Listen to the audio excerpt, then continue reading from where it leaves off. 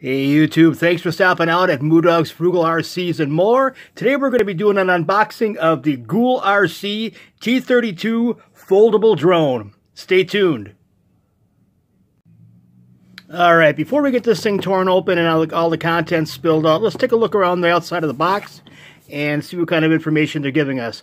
On the left hand or right hand side of the box uh, is pretty much the specs for the quadcopter. Uh, you have a 2.4 gigahertz Wi-Fi signal. That this is a Wi-Fi FPV, so you're going to be using a Wi-Fi signal at 2.4 gigahertz.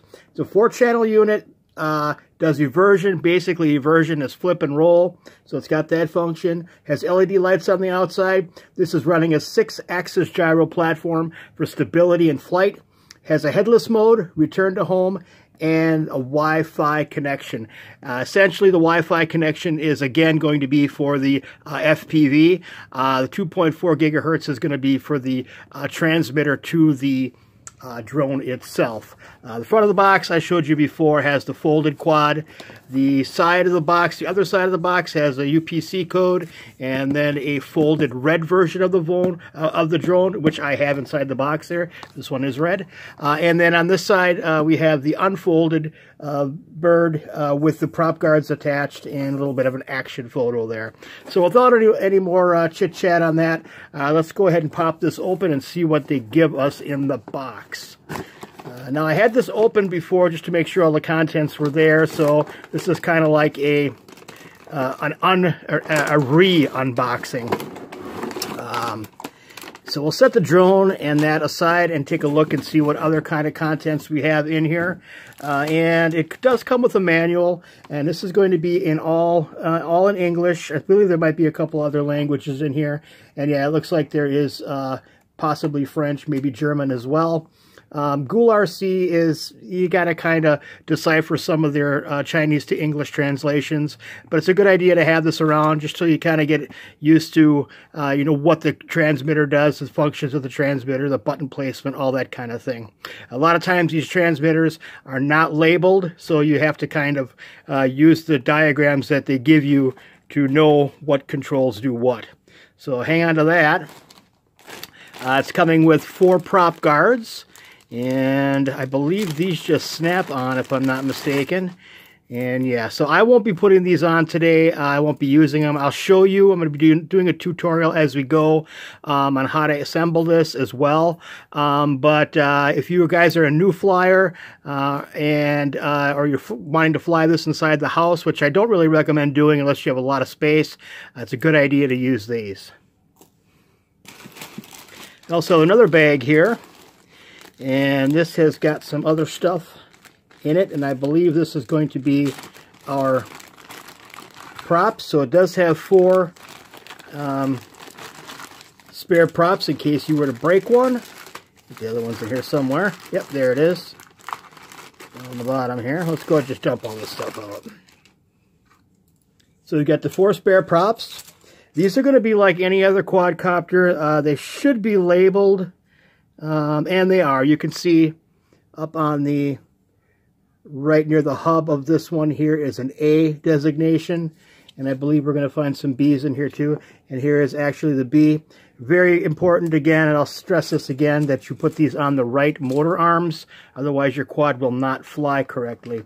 Uh, we also have um, some landing gear for the quadcopter and a micro or a USB to uh, micro Losi or mini Losi uh, 1S battery charger. This would just plug into your phone uh, wall wart or into a computer USB. Then we have our FPV uh, attachment. This is going to attach to the uh, transmitter and allow your phone to fit inside here for viewing. And you get a screwdriver to put this all this stuff together. The other part of the uh, package is going to be the drone and the transmitter. And it looks like they included a pouch with this for the drone, which is kind of cool. Uh, so you can actually uh, fold up your drone, stick it in the pouch, and take it with you. Throw it in a backpack and, and take it along with you. Kind of nice touch there. And it does come with a transmitter. And it looks like this one might be somewhat labeled, and it is labeled. You have to kind of look a little bit Uh, has an auto stop, so uh, and it has uh, auto takeoff, auto landing. This is a um, this is a altitude hold quadcopter. In other words, it has a barometer inside of the circuitry inside the quad that will uh, allow the quadcopter to maintain a certain altitude. Uh, and you can see that also by the uh, throttle stick here actually springs back to the center. So it's a nice feeling, a nice feeling transmitter, feels good in the hand. Uh, it is plasticky, it is a toy, so keep that in mind as well. And then we have the quadcopter itself. So this is a foldable quad, as you guys can see. Uh, this has a 720p uh, 2 megapixel camera uh, in front here, and it is a fixed camera. So in other words, you cannot move this up or down. It stays in one position. And the quadcopter unfolds uh, thusly.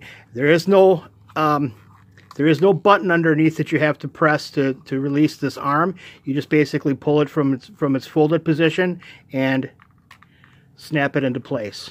There's a really kind of a faint audible click. You guys can maybe hear that. Oh, that one clicked. Um, and we just fold that out like this, and it turns into a pretty decent sized quad. Uh, not too bad, not too shabby. Really nice looking. I like the candy apple red myself. I'm kind of a fan of that.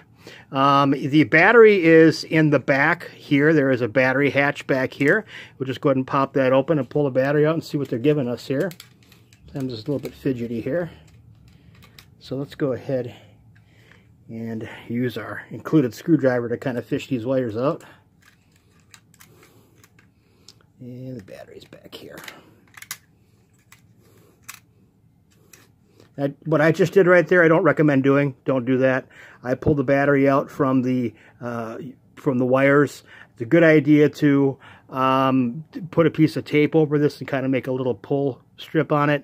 And I'll show that in a later video. Uh, but we have a 3.7 volt 850 850 milliamp hour battery uh, with a 1S connector on it. And from there, um, next thing I'm going to do for you guys is kind of show you how to install the landing gear um, and how to install the battery, power it up, and we'll go ahead and power up the transmitter and we'll start the props up and we can look at the lights and things like that. So uh, hang on one second. I'm going to get uh, that started for you right now.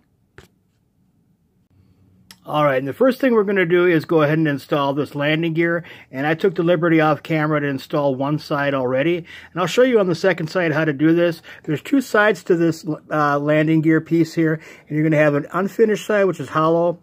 And then a finished side, which actually has a kind of more matte finish to it. The matte finish is going to go towards the outside of the quadcopter, so that's going to be the side that's showing.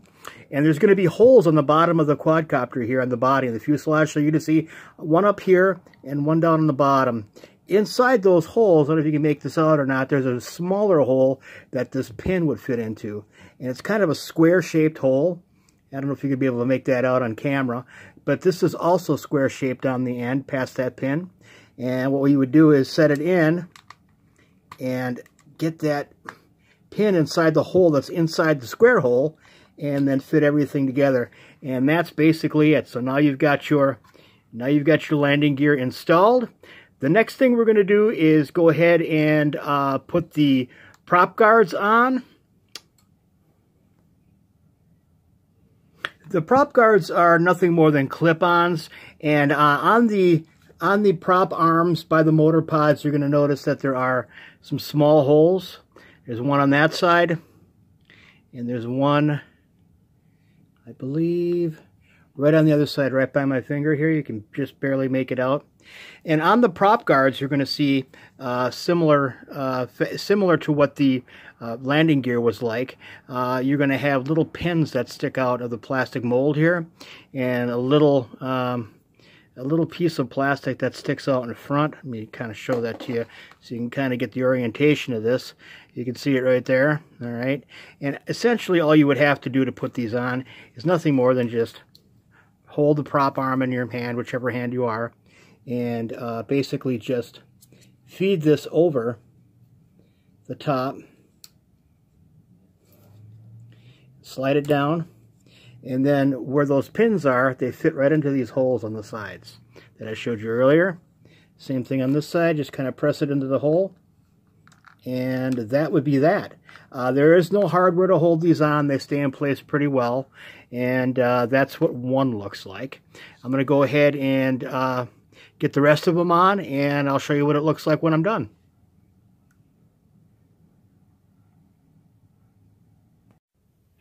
All right, and there it is with all the prop guards installed. Um, really kind of increases the size of this quadcopter uh, quite remarkably, actually. It's a pretty good size now with the, with the prop guards on.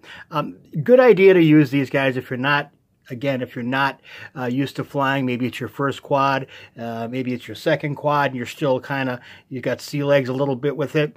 Um, good idea to have these on, especially if you're flying in the house. Good idea to have them. I am not an advocate of flying in the house. The only reason I'm not is because I don't have a lot of space.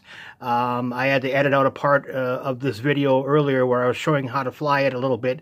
I uh, launched it in my room that I'm in right now, and I ended up taking the camera out. So I edited that out. It would have been pretty cool comic relief, but uh, one of the reasons I don't uh, fly with prop guards, uh, more so because I've I have some experience and I know how to operate a quad uh, safely uh, without having uh, the prop guards um, on. Uh, also, they do tend to cause a little bit, uh, add a little bit more weight to the quad, and they will reduce your flight time uh, because of wind resistance and weight. another downside to the prop guards is the fact that you're not going to be able to fold. This will not fold properly. If you're flying the thing inside the house or if you're flying it outside a lot, um, you leave them on there. Uh, they do come off pretty easy. There's no screws, so they just kind of you just kind of lift them up and pop them off. And they do come off pretty easy. So if it's something that you had to, you know, take with you, if you're taking it with you, you stowed it in the, in the little bag that it comes with, and you pull the prop guards off, put them on, it's not that big of an ordeal. Uh, but I just choose not to fly with them uh, for the reasons that I stated before. Uh, so now the next thing we're going to do is go ahead and get these batteries. Uh, I already installed the battery in the back here, um, and I'll show you that real quick. Um, it's already installed in uh, the connector. Basically, there's only only one way to connect it, and uh, you st stuff the battery in, and then you stow the wires behind it and snap this guy shut. Okay, and then from there, uh, we're going to go ahead and bind the bind the uh, the transmitter to the quad. Uh, first thing we're going to do is um, ensure that we have batteries in the back of this uh, transmitter. Uh, when they say that this is a ready-to-fly quadcopter kit, it's actually only about 95% ready to fly. You do have to purchase batteries, and in this case, this is going to take four AA batteries, uh, which I have uh, installed, but I'll go ahead and uninstall them real quick, and we'll kind of go through that again. Installing batteries in this thing is like putting them in a flashlight. There are some folks out there, though, um, and not too remarkably, that haven't really done this before. They have, you know, no idea. So you have to kind of pay attention to polarities uh, on, on the batteries that you're putting in. And I'll kind of show you guys that the back to this um, actually has a screw uh, uh, on the battery hatch here. There's a screw to hold, hold it together for more security. I don't recommend using that screw. I'll probably leave it in here uh, for now just for the video. But once the video is done and I start flying this thing, I'll end up taking this screw out because it's just a pain if you want to change batteries uh, or swap batteries to another transmitter, which I've done on occasion. Uh, but that screw uh, fits right in the back here. And then you would use your included your included screwdriver to take it out. I've already done that for just the sake of the video here. And then we'll go ahead and remove the back and install the batteries. So battery polarities uh, are printed on the inside. Here you can kind of see them. They're actually molded in like batteries in a flashlight.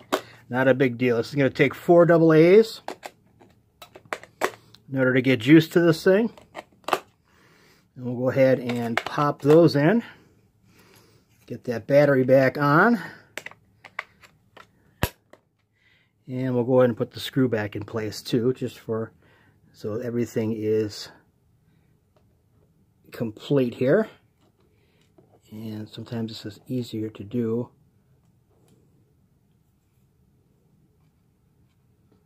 Well, looks like I didn't get a, you know what, I'm going to do that.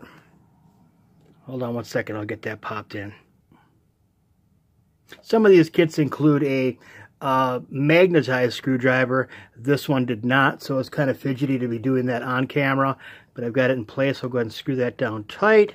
Um, and also with this uh, transmitter, there is, this is FPV, so it is Wi-Fi FPV, uh, first person view, so you'll be able to um, see what the camera is seeing while you're flying it. Uh, and the FPV um, for your phone mount would snap into place up on top here. And that just sets in and snaps into place like that. And that's pretty much it. So now you've got your um, phone holder up on top. You can set your phone in and do I have a phone to throw in there for you to show you guys? I don't right now, but that's where the phone goes. Um, and I'm going to go ahead and get that out of the way for now because we're going to be uh, powering up this quadcopter and starting up the motors to show you guys what that all looks like. Um, I'm not going to be flying inside the house like I mentioned before. I did I did launch this thing in the, in my home earlier, and I ended up taking my camera out. Uh, so we're not going to be doing that again. Uh, but there is um, uh, a way to, uh, to to fly this if you have a lot of room inside your home. It's easier to do. In, in this particular room that I'm filming in right now, um, not so much. First thing we're going to do to get this thing bound up is go ahead and turn the quadcopter on. And on top of the quad here, there's a button uh, right by the Gool RC logo. And we're going to go ahead and press, long press that. And we can see that the LEDs are lit up now. And what I like about this quad, and I think it's going to be a great night flyer, uh, because the lenses for the LEDs are all the way through. So you can see them on the top, and you can also see them all the way through onto the bottom which I think is really cool. Something else I forgot to mention, um, and if I did mention it, I apologize for doubling up on it, uh, but there is a um, micro SD card slot on here, uh, or what appears to be. Now, I watched a video on this quadcopter uh, by uh, Quadcopter 101, his channel. Um, you guys check that channel out if you want to know anything about quads, flying them, all of that type of stuff. The guy's probably the best uh, in, in, on YouTube. Uh, shout out to Quadcopter 101 there. Uh, but anyway, um, he had mentioned that this is non-operative. Um, this uh, slot will not store video. So basically there is no built-in DVR on this camera. All your video is going to be saved to your phone through the app. And there is an app that you would download either on Android or iOS called T32 uh, and you download that on there and you could pair it up and, and all that type of stuff. I'm not going to go through all of that right now. This is just basic, going to be kind of a basic um, uh, setup uh, to show you how to set your quadcopter up uh, and get the motor started at least. Uh, we're not going to be doing any FPVing. So the quadcopter is on and the lights, you'll notice that the LEDs are flashing. Uh, that's saying that it's ready to be bound. In order to bind this quadcopter, it's nothing more than just pushing the power button on it. And now you'll notice if you look at the quad that all the lights are solid and the quadcopter is ready to be launched. There's a one button takeoff and a one button land on here, but in order to get those things to work, you have to arm the motors. To arm the motors on this quad is basically just taking both sticks down and to the outside. And now we have the quadcopter uh, armed. So essentially, um, what it's doing right now is what I call a break-in. And what I like to do is let this thing break in for probably almost a whole battery before I actually take it out and fly it aggressively or get any altitude with it or do any kind of real flying. Um, so it's a good idea to break these in. Uh, they are brushed motors. Um, breaking them in will, will cause the motors to last you longer. Uh, it will prevent premature failures, that type of thing. It's just a practice that I've gotten into that I picked up from flying for a while. Uh, brushed motor. Same thing with my Syma quads, my uh, any other quads that I have here. Uh, all the motors get broken in. The brushed motors get broken in before I uh, go ahead and fly them. So I'm going to go ahead and let that run for a little bit um, and um, I'll show you guys real quick here how to disarm the motors. Basically all you would do is take the throttle stick and pull it down and hold it and the motors are disarmed. Now to unpair it or to unbind it from the quad uh, you just hit the power button and the lights will go back into flashing state again and it's now the now the transmitter is not bound to the quad and you can go ahead and turn your quadcopter off by pressing the button on top and holding it and you're off. So that's pretty much it, guys. I wanted to give you guys an idea, look at the quad, uh, what comes out of the box, how to assemble it, how to get the mo motors powered up, and how to start it up for the first time. Uh, I'm going to be doing more videos like this as time goes. I'll be getting more quads in. Uh, all this stuff was purchased with my money. I'm never going to ask for contributions. I'm never going to ask for uh, um, anything like that. This is all done for the love of the hobby and to kind of impart knowledge that I might have and to kind of show you guys, you know, what can be had for a little bit of money. This thing was 29 bucks with a 10% discount uh, on Amazon.com. And again, I, like I always do, I'll put the link in the description if you guys want to check this one out. Um, it's a good value. Um, it's a fun quadcopter. It's got a decent 720p 2 megapixel uh, camera on it. Um, it's got decent range, probably about mm, 80 to 100 meters, which is more than more than enough for a toy grade quadcopter, and uh, it's just a whole lot of fun. So if you guys are thinking about getting something like this, um, I would recommend going with something on this order. Something uh, you don't have to go out and spend a thousand dollars on a DJI Mavic. You can go out and spend thirty-two dollars in this case, or fifty dollars, or whatever, uh, for a quadcopter that's going to give you a, ton of fun and it's not going to break the bank. And if you crash the thing and you break it, you're out 50 bucks instead of a thousand, uh, which I kind of uh, like that whole idea. Um, so that's pretty much it, guys. Um, my guys, I thank you a lot for stopping by and, and watching the video. Um, thank you for your subscriptions. I appreciate you guys subscribing and hanging out with me. Um, if you have any suggestions on any videos you'd like to see going forward, uh, any quadcopters you might like to have me check out within reason, I'm not going to go out and drop, you know, a grand on a quadcopter, but uh, put the link, uh, put uh, comments in the uh, box below. And uh, that's pretty much it. Thank you guys for stopping by. As is Moodog signing off. God bless the Republic.